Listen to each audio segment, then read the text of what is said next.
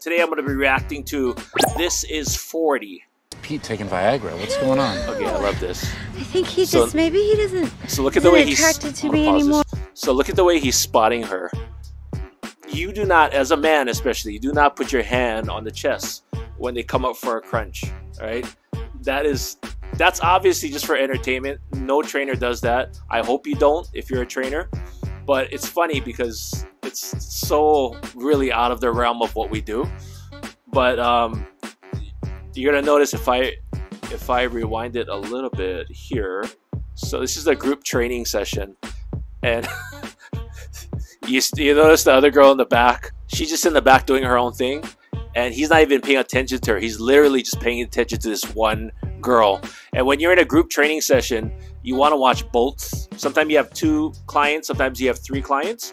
It's called small group training. It's called semi-private, and his focus is on her. So you got to have that equal amount of attention on both sides.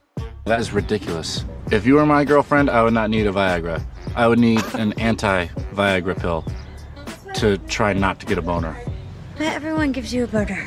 Yeah, that is something you definitely don't want to talk about in a training session. Boners, not at all. And then you're putting give me down the boner. poor girl in the back, which is doing her own thing.